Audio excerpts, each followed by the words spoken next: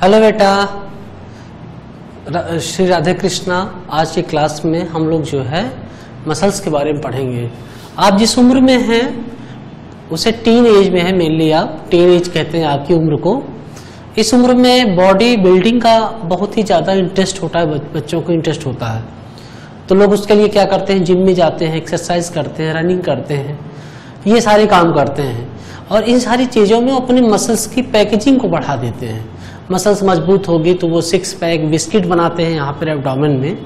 तो आखिर वो जिस सिस्टम को मज़बूत करना चाहते हैं, वो जो सिस्टम है, वो मस्कुलर सिस्टम है। आज के इस चैप्टर में हम लोग देखेंगे मसल्स के बारे में, कि मसल्स क्या हैं, उनका स्ट्रक्चर कैसे है, करती क्या है बॉडी में क्या, किस लोकेशन पे हैं, उनके टाइप क्या हैं, इन सारी चीज़ों का हम लोग ज़िक्र करेंगे। आपको बड़े ध्यान से इनकी सारी फिजियोलॉजी के बारे में सीखना है, समझना है, कैसे मसल्स कॉन्ट्रैक्ट करती हैं, कैसे रिलैक्स करती हैं, इनके बारे में सीखना है। मैंने बोर्ड पे मसल लिखा हुआ है तो आइए मसल के बारे में डिस्कस करते हैं। सबसे पहले अगर आप देखें तो एनसीईआरटी कहती है मसल्स आर ये देखिए आप muscle are specialise tissue muscle are specialise tissue muscle are specialized tissue and mesodermal mesodermal in origin and mesodermal in origin. अब देखिए, इसने बहुत सारी बात एक बार में कह दी है, समझना है आपको एंड mesodermal इन ओरिजिन मतलब जो मसल्स हैं, वो स्पेशलाइज टिश्यूज हैं, और मसल्स की जो ओरिजिन है मेनली वो जो तीन जर्म लेयर होती है एक्टोडर्म मेजोडर्म और एंडोडर्म जिसके आधार पे आप टिप्लोब्लास्टिक है मेमल्स में उन्हीं से मेजोडर्म की लेयर से मसल्स की ओरिजिन होती है। मतलब मेजोडर्म की सेल्स मिलके मसल्स का फॉर्मेशन करते हैं। ये कहने का मतलब हुआ लाइन में। तो अगर आप लेकिन देखिए तो इसका एक्सेप्शन भी है इस रूल का। इसलिए जो कॉन्सेप्ट है, इसका एक्सेप्शन है। एक्सेप्शन ये है कि आई में जो हमारी आई है, इस आई में जो आयरिस की मसल्स है, जो आयरिस की मसल्स हैं मतलब जो हमारी आई में आयरिस है उसकी जो मसल्स हैं, वो मसल्स एक्टोडर्मल इन ओरिजिन है। ये देखिए मसल्स जो हैं, वो एक्टोडर्मल इन ओरिजिन है। हमारी आयरिस की जो मसल्स हैं, उनकी ओरिजिन जो है एक्टोडर्मल है। ये एक एक्सेप्शन है हमारी बॉडी में कि सारी मसल्स की ओरिजिन मेजोडर्म से है, लेकिन जो आयरिस की मसल्स हैं, उनकी ओरिजिन एक्टोडर्म से है। ये पहला डिफरेंस आ जाता है मसल्स का। मतलब ओरिजिन में एक बहुत टेक्निकल बात जो आपको सीखना है। आपको पता होगा कि यही आयरिस है, जिसमें जो रिस्पॉन्सिबल फॉर आई कलर जो आई कलर होता है, वो इसी आयरिस के कारण होता है। ये देखिए रिस्पॉन्सिबल फॉर आई कलर ये। तो सारी मसल्स के ओरिजिन तो मेसोडर्म से है, लेकिन जो आयरिस की मसल्स हैं, उनकी ओरिजिन एक्टोडर्म से है। ये पहली बात हो गई। दूसरी बात, ये पहला कमेंट इनसे आटे ने किया है। दूसरा कमेंट है दे कंट्रीब्यूटेड दूसरा कमेंट देखिए आपकी मसल्स का दे कंट्रीब्यूटेड ये देखिए 40 to 50 percent body weight they contributed 40 to 50 percent body weight इसका मतलब ये हुआ कि जो हमारी बॉडी है, उसका 40 टू 50 परसेंट बॉडी वेट को ये कंट्रीब्यूट करते हैं। मतलब बनाते हैं। एक चीज़ जो छूटी जा रही है, हमने डिस्कस नहीं किया, आप देख लें। मान लीजिए कहीं लिखा रहे मायोलॉजी मायोलॉजी लिखा रहेगा, या मायोलॉजी लिखा रहेगा, या शार्कोलॉजी लिखा रहेगा। मायोलॉजी लिखा रहेगा, या शार्कोलॉजी लिखा रहेगा। तो इसका मतलब ये हुआ कि ये ब्रांच है बायोलॉजी की, जो मसल्स की स्टडी करता है। स्टडी ऑफ़ मसल करता है। ये देखिए। मायो टर्म अगर लग गया, शार्को टर्म लग गया तो मसल्स की स्टडी हो रही है। तो ये देखिए they contributed 40 to 50 percent body weight body weight का 40 to 50 percent body weight contribute करते हैं। ये दूसरा कमेंट हो गया। स्पेशलाइज टिश्यू है मेजोडर्मल ओरिजिन है, और बॉडी का 40 टू 50 परसेंट बनाते हैं। एनसीआरटी ने इसके आगे चल के मसल्स की प्रॉपर्टीज़ के बारे में डिस्कस किया है। एनसीआरटी ने कहा कि भाई मसल्स की प्रॉपर्टीज़ के बारे में बात कर लीजिए। कि मसल्स में चार प्रॉपर्टी लिखी गई है। पहली प्रॉपर्टी देखिए। ये, पहली जो प्रॉपर्टी है, उसको एनसीआरटी ने लिखा है। ये जो पार्टी प्रॉपर्टी है इसे एक्साइटेबिलिटी कहते हैं। ये देखिए। एक्साइटेबिलिटी पहला कमेंट मतलब मसल्स में एक प्रॉपर्टी है जिसको हम लोग एक्साइटेबिलिटी कहना चाहते हैं। तो आप ऐसे लिख सकते हैं muscle is excitable excited by neurons and hormones ये देखिए। मतलब जो न्यूरॉन्स जो हैं और जो हार्मोन्स हैं, वो मसल सेल्स को एक्साइटेड कर देते हैं। उनको नॉर्मल स्टेज से एक्साइटेबल स्टेट में लाते हैं। ये पहली प्रॉपर्टी होगी एक्साइटेबल स्टेट में लाते हैं। ये कहना इस मतलब है नर्वस और हार्मोन दूसरी जो प्रॉपर्टी है, वो है एक्सटेंसिबिलिटी ये देखिए। ये एक्सटेंसिबिलिटी तो ये देखिए muscles are capable of extension मतलब मसल्स जो है एक्सटेंशन भी कर सकती हैं। ज़रूरत पड़ने पे इनमें एक्सटेंशन की प्रॉपर्टी यह हो सकती है। एक्सटेंशन मतलब बढ़ सकती है और घट भी सकती है। एक्सटेंशन का सेंस ये हुआ। ये देखिए एक्साइटबिलिटी और एक्सटेंसिबिलिटी ये दो टर्म हो गए। अगर आप तीसरी प्रॉपर्टी देखें तो ये प्रॉपर्टी है कॉन्ट्रैक्टिलिटी ये देखिए कॉन्ट्रैक्टिलिटी कॉन्ट्रैक्टिलिटी ये देखिए। ये मसल्स की तीसरी प्रॉपर्टी हो गई, जिसे हम लोग कॉन्ट्रेक्टिलिटी कह रहे हैं। तो कॉन्ट्रेक्टिलिटी मैंने क्या हुआ, आप समझे। देखिए, ये muscle has muscle has property of contraction muscle has power of contraction जी। ये जो आप डेस्क के बेंच पे अपना हाथ रख के और अपने मित्र से ऐसे लड़ाते हैं, ताकत दिखाते हैं मसल्स का कि हम में ज़्यादा ताकत है तो वो क्या कहते हैं? उसे कहते हैं कॉन्टेक्टिविटी कहते हैं। चौथी प्रॉपर्टी है इलास्टिसिटी ये। इलास्टिसिटी ये चौथी प्रॉपर्टी है। मतलब ये हुआ after contraction after contraction muscles जब कॉन्ट्रैक्ट हो जाती हैं they were they were they were return to their return to their their original position मतलब मसल्स जब कॉन्ट्रैक्ट हो जाती हैं कॉन्ट्रैक्शन के बाद वो अपनी पुरानी पोजीशन में फिर से लौट आती है। तो एनसीआरटी ने ये चार प्रॉपर्टी लिखी है। आपको ये चारों प्रॉपर्टी क्लियर करनी है। कौन कौन सी प्रॉपर्टी है, आप एक बार देख लें। ये एनसीआरटी ने लिखा हुआ है। मेरी मेरा मन है आप इसको सीख जाए पहली प्रॉपर्टी जिसे एक्साइटेबिलिटी कहते हैं। दूसरी प्रॉपर्टी है जिसे एक्सटेंसिबिलिटी कहते हैं।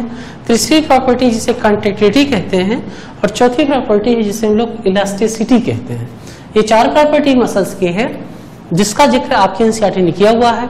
मसल्स की ओरिजिन मेजोटर्म से है, लेकिन आरिस की मसल्स की ओरिजिन इक्टोटर्म से है और ये पूरी बॉडी वेट का 40 टू 50 परसेंट बनाती है कंट्रीब्यूट करती है, आपको ये बात सीखनी है। ये एनसीआरटी का पहला पैराग्राफ है। आइए टाइप्स ऑफ़ मसल देखा जाए। मसल्स के टाइप देखने हैं हमारी बॉडी में कितनी तरह की मसल्स पाई जाती हैं। टाइप देखने हैं नंबर नहीं देखने हैं। टाइप अगर आप देखें तो जो इसका क्लासिफिकेशन हुआ है, तीन आधार पे हुआ है।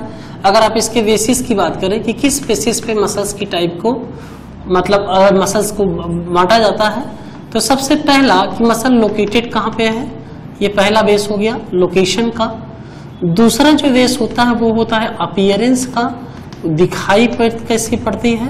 अपियरेंस का और तीसरा होता है रेगुलेशन का। Regulation by neurons regulation by neurons ये तीन बेसिस हैं जिनके आधार पर हम लोग मसल्स को कहते हैं, उसका क्या कहते हैं?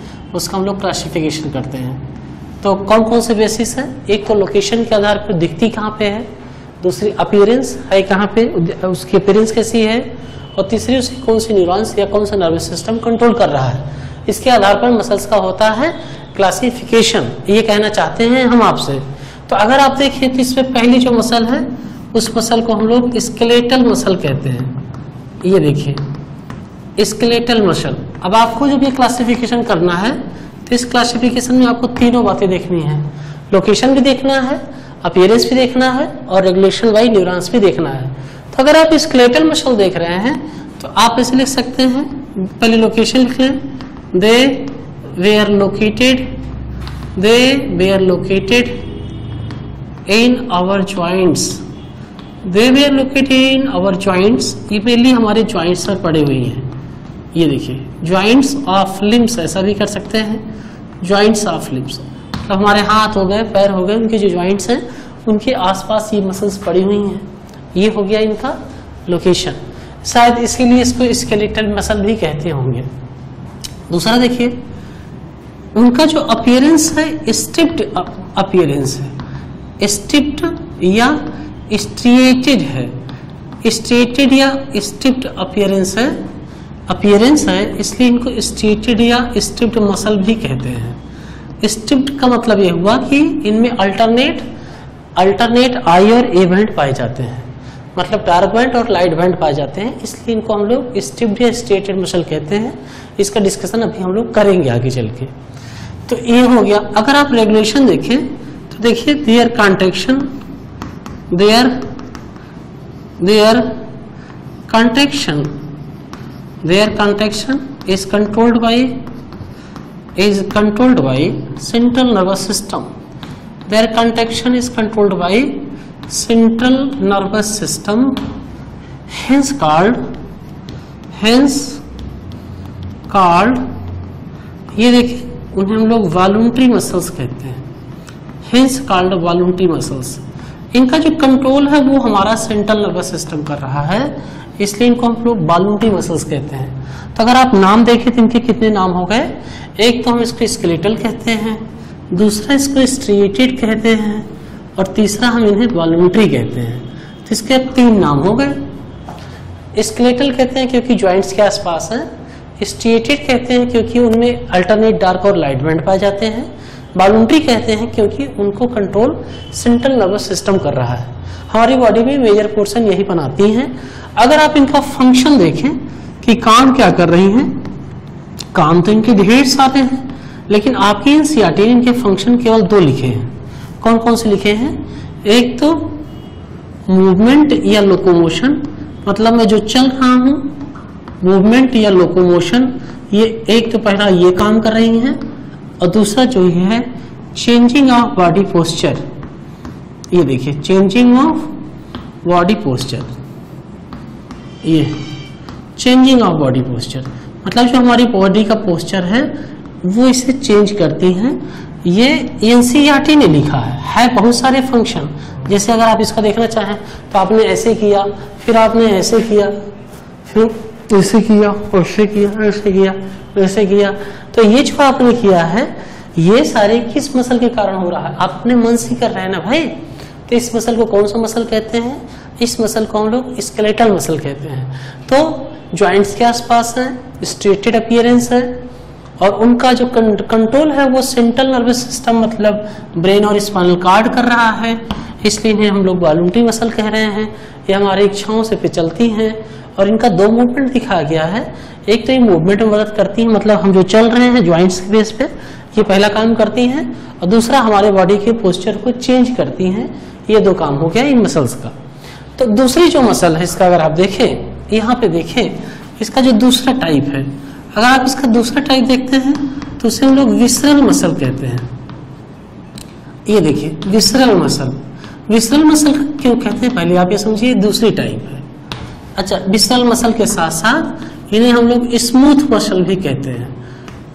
क्यों कहते हैं? ज़िक्र होगा इसका। इस विसरल मसल कहते हैं स्मूथ मसल कहते हैं। इनको हम लोग नॉन स्ट्रेटेड मसल भी कहते हैं। नॉन स्ट्रेटेड मसल भी कहते हैं। इनको हम लोग एक नाम और भी देते हैं। यहाँ लिख लीजिए कि इनको हम लोग इन बालूंट्री मसल भी कहते हैं। ये देखिए, इन बालूंट्री मसल भी कहते हैं। तो आप टोटल टार्म कितने हो गए आप देखें। विसरल मसल कहते हैं, स्मूथ मसल कहते हैं नॉन स्ट्रेटेड मसल्स कहते हैं इनवॉल्यूटिव मसल्स कहते हैं। लगभग चार पाँच नाम, एक नाम और लिख सकते हैं आप। अगर आप चाहें तीन दो नाम लिख सकते हैं कि सर ये नॉन स्केलेटल मसल है। ये नॉन स्केलेटल मसल है। मतलब कहीं भाई देवे अगर आपको नाम मिले तो आप ये चिंता ना करें सर, ये डिस्कशन नहीं हुआ था। अब हमने ये जितने नाम लिखे हैं, सबकी मीनिंग निकाली जाए। पहले लिखा जाता है विसरल मसल। विसरल मसल्स का मतलब ये हुआ, ये देखिए present in present in linings of present in linings of visceral organs lining of visceral organs जो विसरल आर्गन है, उनकी लाइनिंग्स पर ये पाया जाता है। लाइक नाम लिख लीजिए। लाइक कहाँ पाया जाता है, ये भी लिखे। अगर आप डाइजेस्टिव सिस्टम लिख रहे हैं तो एलिमेंट्री कैनाल ये देखिए एलिमेंट्री कैनाल में एक लेयर है, जिसका नाम मस्कुलेरिस है। एलिमेंट्री कैनाल में जो लेयर है, उसका नाम क्या है? मस्कुलेरिस है। अगर आपको याद नहीं है तो मैं लिख देता हूँ। ये लेयर है, जहाँ पर ये पाई जाती है। मस्कुलेरिस है। दूसरा देखिए, मस्कुलर एलिमेंट्री कैनाल के बाद यूरानी ब्लैडर की वाल पे पाई जाती हैं। ये भी यूरानी ब्लैडर की वाल पे पाई जाती हैं। वहाँ पर इन्हीं मसल्स को, इन्हीं मसल्स को यूरानी ब्लैडर की वाल पे हम लोग डिट्यूजर मसल कहते हैं।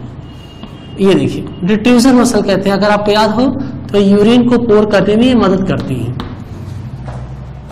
और कहाँ पे पाई जाती है? ये देखिए, एलिमेंट्री कैनल के बाद ये ब्लड वेसल्स पे पाई जाती हैं। ब्लड वेसल्स के केस में इन्हें हम लोग ब्लड वेसल्स के केस में इन्हें हम लोग ट्यूनिका मीडिया कहते हैं। ये देखिए ट्यूनिका मीडिया कहते हैं।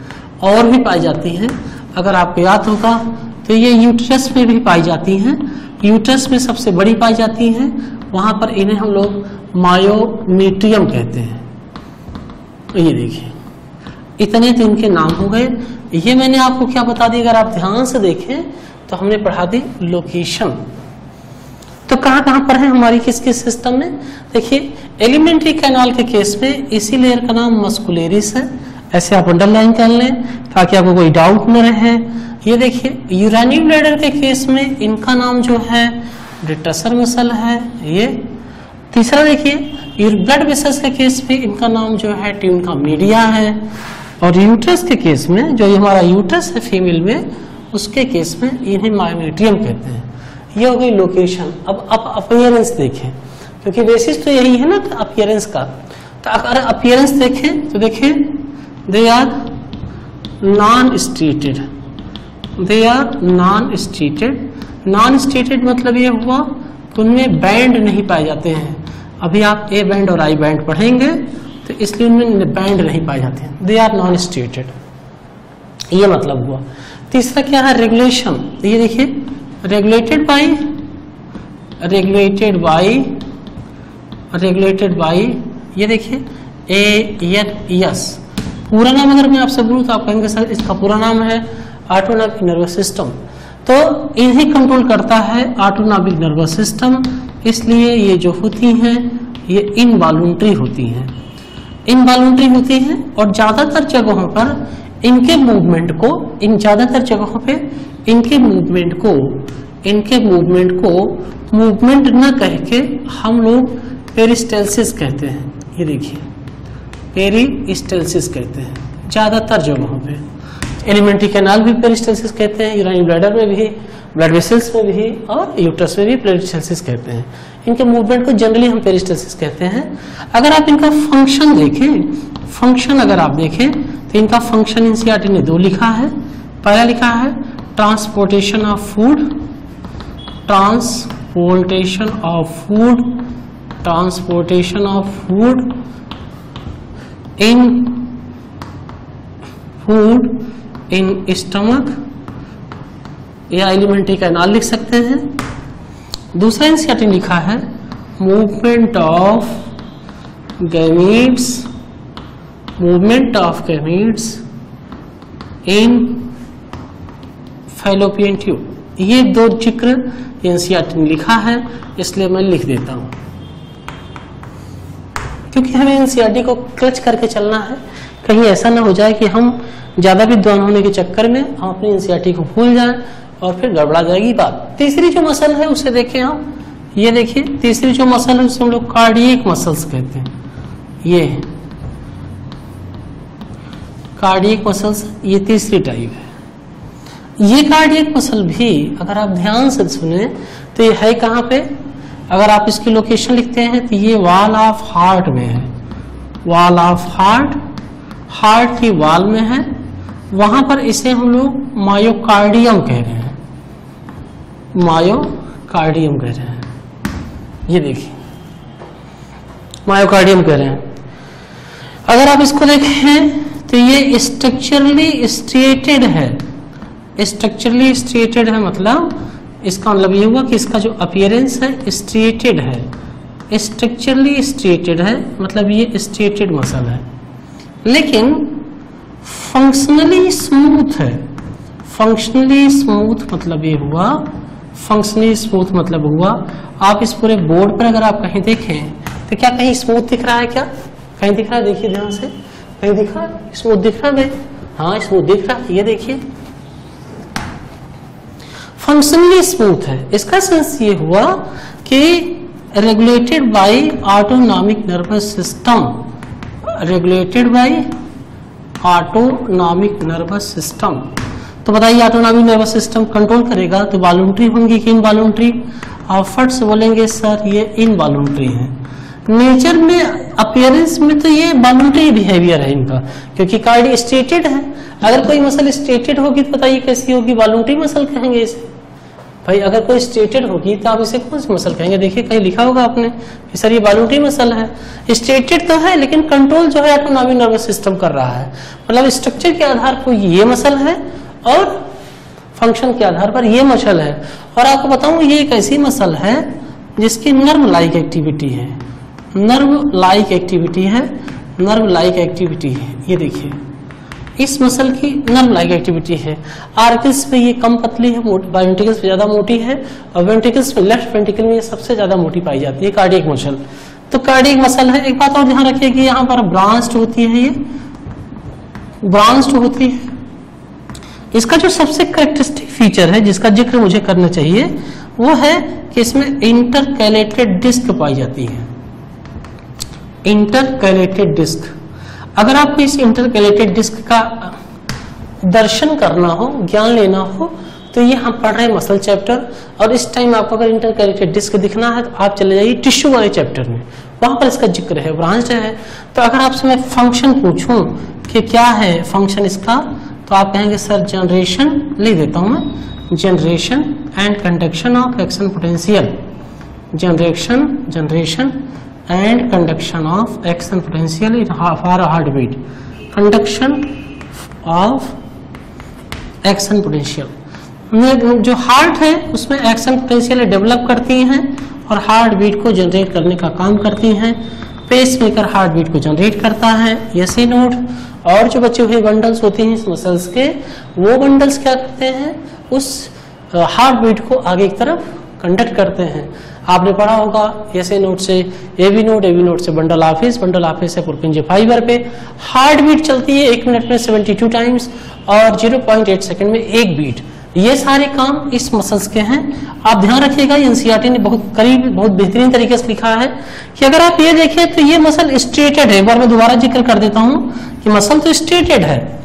अपियरेंस तो स्ट्रेटेड है, लेकिन कंट्रोल कौन कर रहा है? ऑटोनॉमिक नर्वस सिस्टम मतलब कंट्रोल जो कर रहा है ऑटोनॉमिक नर्वस सिस्टम इसलिए फंक्शनली स्मूथ है। ज़िक्र एनसीआरटी का है, आपको ध्यान से देखना है। इन तीनों मसल्स के तीनों ज़िक्र जो है डिस्कशन आपके इस खूबसूरत एनसीआरटी ने किया हुआ है, मेरे दोस्त। मोहब्बत कर लीजिए इससे। इससे ज़्यादा मोहब्बत आपको किसी भी सब्जेक्ट में हो ही नहीं सकती है। ये एमकेडी का चैलेंज है। बेटा मेंडल ने अपने एक्सपेरिमेंट में, जब उसने एक्सपेरिमेंट करने शुरू किए मतलब पी प्लांट के ऊपर तो उसने जो है कुछ टेक्निक्स डेवलप की। जैसे कि पी प्लांट क्या था? बाइसेक्सुअल था और पी प्लांट में सेल्फ पॉलिनेशन पाया जाता था। तो अगर वो कुछ ऐसा ना करता कि क्योंकि इंडोसियम डायनोसियम दोनों एक ही फ्लावर पे थे तो अगर वो कंट्रोल ब्रीडिंग न कराता तो वो रिसर्च कर ही ना पाता। रिसर्च में क्या होता है? ह्यूमन का इंटरफेयर होता है। तो वो ये चाहता था कि जब वो चाहे तभी पॉलिनेशन हो। मतलब प्लांट अपने आप सेल्फ पॉलिनेशन कर पाए, बल्कि वो आर्टिफिशियल क्रॉस पॉलिनेशन कराना चाहता था। जैसा कि यहाँ पर लिखा है technique of Mendel techniques of Mendel इसका ज़िक्र एनसीआरटी ने किया हुआ है। तो हम चाहते हैं कि एक बार इसको आप सीख जाए कि टेक्निक का मतलब क्या है। क्योंकि जो पी प्लांट था मतलब जिसपे वो रिसर्च कर रहा था, जो पी प्लांट था, वो बाइसेक्सुअल था। बाइसेक्सुअल किसी प्लांट को तब कहते हैं जब उस पर इंडोसियम और गाइनोसियम दोनों एक साथ पाए जाए।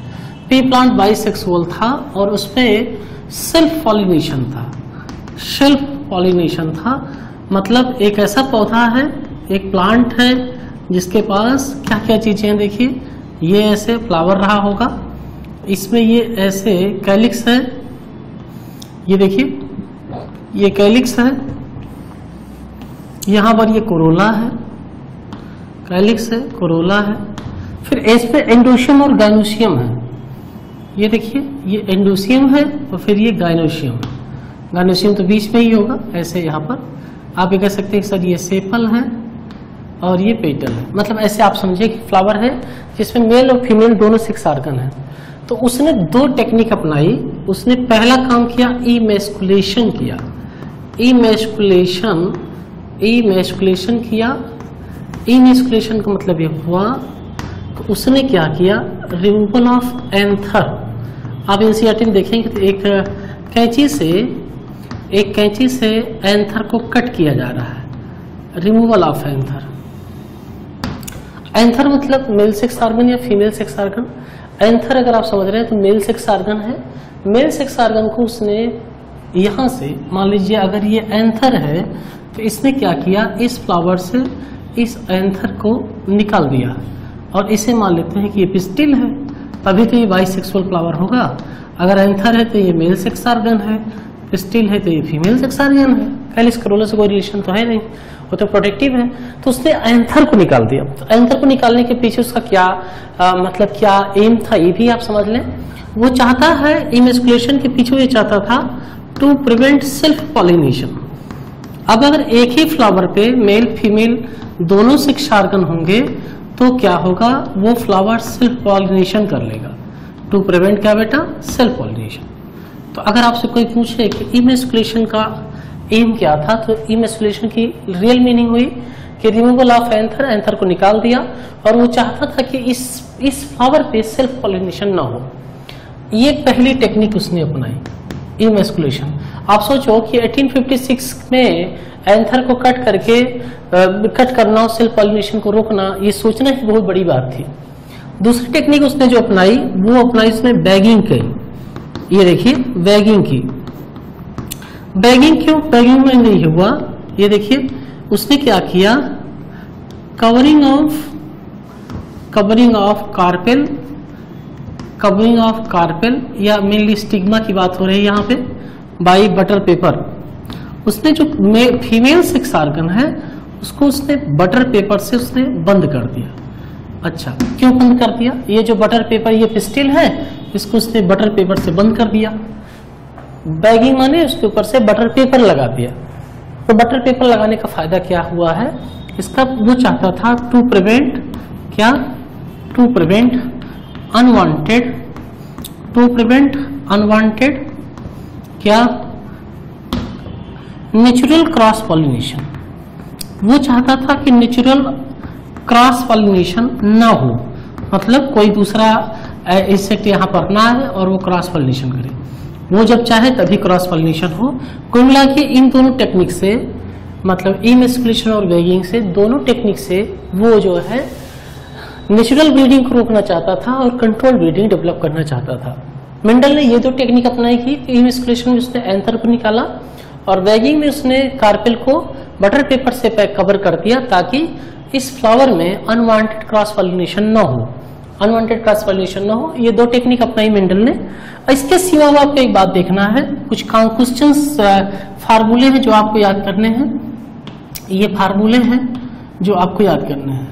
फार्मूले के पहले एक या फार्मूला अपना लिख के यहाँ आप लिख सकते हैं। वेरी इंपॉर्टेंट बातें हैं जो आपको याद रखना है। ये देखिए, इनका नाम है रिग्नॉल्ड सी पुनेट रिग्नॉल्ड सी पुनेट नाम है। ये देखिए रिग्नॉल्ड सी पुनेट इनका एक मेथड है, जिसे हम लोग चेकर बोर्ड मेथड कहते हैं। ये देखिए चेकर्ड चेकर बोर्ड मेथड कहते हैं।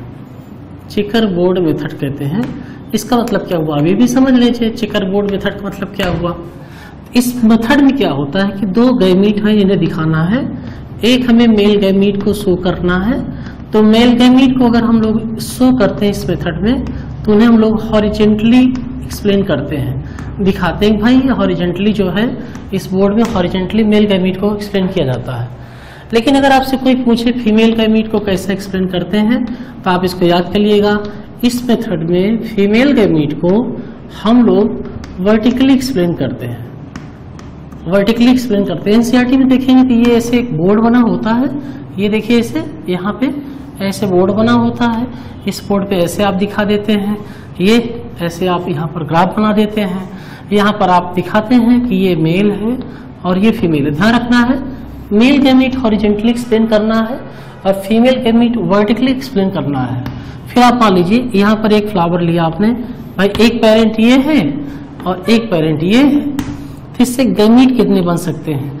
अगर आप गैमीट देखना चाहें तो इससे एक ही तरह के दो गैमीट्स बनेंगे। लेकिन यहाँ पर दो अलग अलग गैमीट्स बनेंगे, क्योंकि ये हेट्रोजाइगस कंडीशन में है।